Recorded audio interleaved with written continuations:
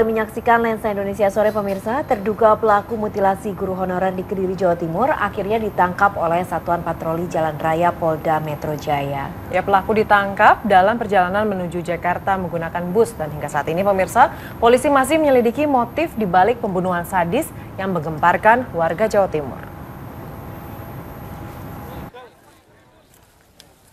Rabu pekan lalu warga Blitar dikejutkan dengan penemuan mayat dalam koper dalam kondisi yang mengenaskan.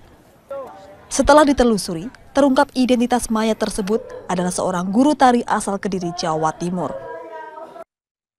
Pagi tadi, Satuan Patroli Jalan Raya Tol Polda Metro Jaya berhasil menangkap satu orang terduga pembunuhan ini. Penangkapan dilakukan di dalam bus di jalan tol menuju Jakarta. Ternyata setelah ciri-ciri itu lewat dari melalui Cikarang itu diikuti sama anggota.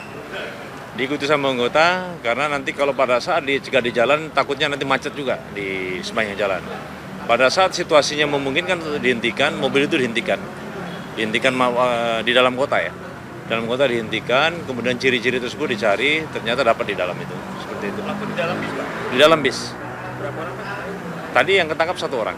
Satu orang. Baru satu orang.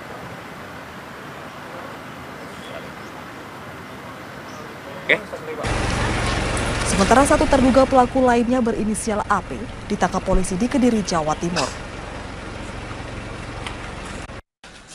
Sore hari kita melakukan penangkapan AP di Jakarta.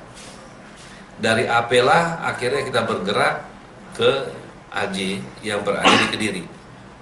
Malam hari jam 20.00 kita melakukan penangkapan di AJ di Kediri. Setelah kedua terduga pelaku ditangkap, polisi akhirnya berhasil menemukan kepala korban tidak jauh dari lokasi pembunuhan di Kediri. Tim Liputan RTV. Oke.